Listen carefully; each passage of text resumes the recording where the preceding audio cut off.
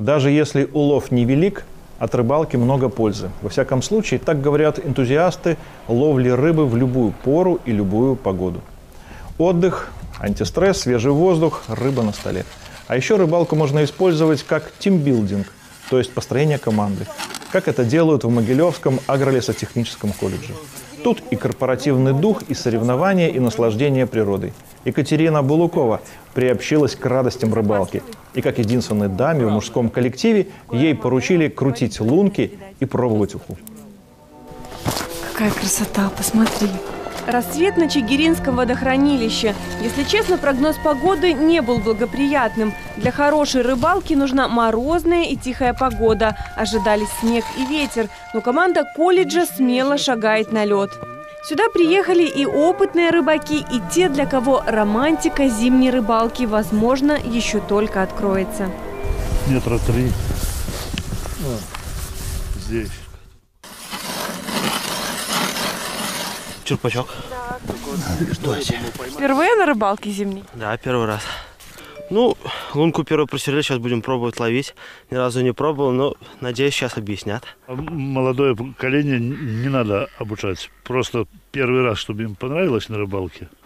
И их потом с водоема невозможно выгнать.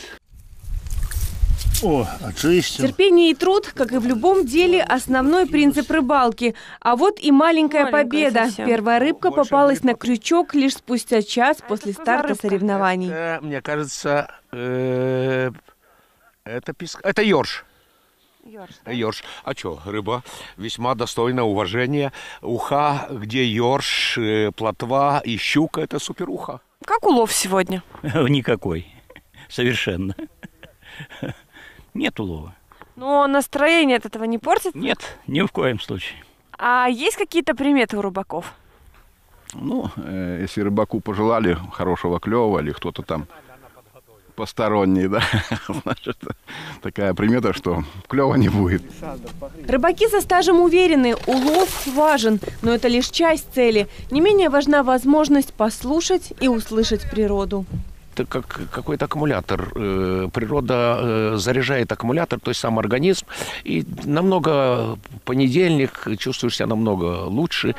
Даже если взять, прокрутить, скажем, несколько э, лунок во льду, сразу почувствуешь, как это тяжело или как это легко. А если провести целый день в поисках рыбы, то это заменяет, наверное, хороший день в спортзале.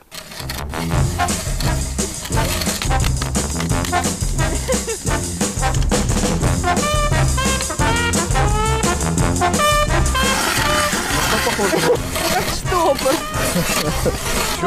Да, правильно? Да, да, да.